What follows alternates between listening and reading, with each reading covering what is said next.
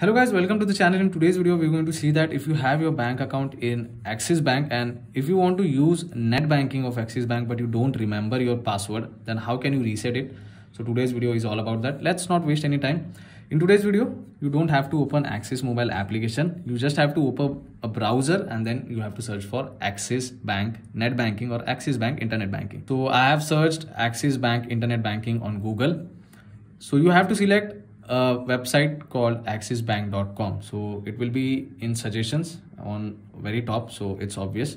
So you have to select axisbank.com and on the next page you get two options. One is of login and another one is of register. So if you are trying to sign in for the first time you have to click on register option over here. But if you already have a net banking account you can simply click on login option. Now as we don't remember our password we want to reset it. On the next page you have three options. You can log in by mpin debit card number or customer id customer id i have already made a video on that that how can you find it. So you can find that video on channel. You don't remember the password click on reset here option in front of password uh, forgot password. So you can see you will get an option over here. Tap on reset here. And on the next page you can select login id or customer id to reset the password or else you can use your registered mobile number. Whichever uh, whichever option you want you can choose it. In my case i'm going to go with registered mobile number. I have entered the mobile number. After entering the mobile number tap on proceed option.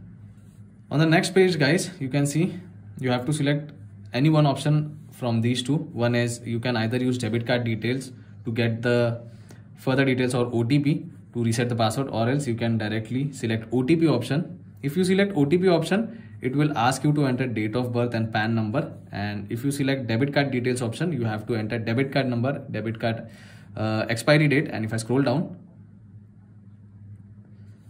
you have to enter the ATM pin, you have to accept the terms and conditions and you have to click on confirm. So I'm going to enter the details very quickly and I'll show you the next step. I have entered all the details. I have accepted the terms and conditions. Click on confirm on the next page guys once you click on confirm you can see we got an option of setting a new password here. So you have to enter a new password then you have to re-enter it and once you once it is done scroll down and click on get OTP so before entering new password make sure that you use a capital alphabet as well as small alphabet and you uh, try to use numbers as well as special characters so that your password can be uh, you know not easy to hack or it is more secure. So i'm going to enter a new password over here. So i have entered the password. I'm going to click on get otp over here. So as you can see we have received the otp you have to enter the otp here. Once you enter the otp click on submit option. So guys as you can see we have received a successful message and we have successfully created a new password. Now to log in again you can tap on go to login page and here you can enter your customer id and password and you are good to go. So guys these are the simple steps by which you can simply reset your password for your axis net banking. If you like this video hit that like button subscribe to the channel. I'll see you all in the next one. Thank you